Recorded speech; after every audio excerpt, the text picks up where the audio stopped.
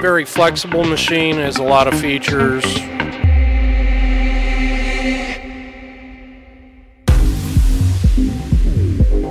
In productivity, this machine is a little bit faster because it's a little bit smaller. Its spindle RPM is 3,500 RPM. 22 foot incoming bar loader. Its range is one inch to two and three quarters diameter. Cell itself is controlled by a PLC cell controller with full blown nesting. The operator enters in a run list on the PLC and that transfers over to the CNC. The CNC sorts through the information and figures out how to optimize the bar. The outlet is 16 feet outgoing on the unloader, so the unloader can handle 18 inches to 16 feet, and it's equipped with a marking unit, and that data is actually passed through the entire system. The operator enters that data on the PLC, that actually transfers through the CNC and marks the part on the exit side.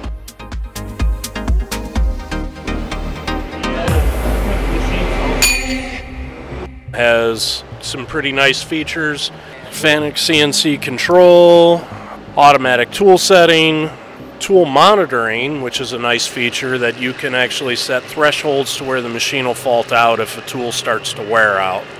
The machine detects that it's cutting harder than the threshold and uh, tell the operator that it's got to, they have to change tools. It's fairly easy to operate. It's got dual controls for just about every normal function. So it's got two cycle starts. The way this machine works, normally it's machining both sides of the part. They can stop that on one side and just focus on the other side, and it has independent feed rate overrides, independent cycle starts, um, independent coolant functions. Um, so that that's kind of it's actually pretty nice. Independent turret index buttons independent chuck buttons, um, some nice little features.